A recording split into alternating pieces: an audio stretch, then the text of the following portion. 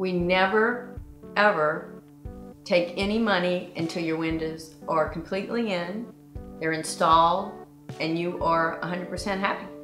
If we don't collect any money, we have to do a good job.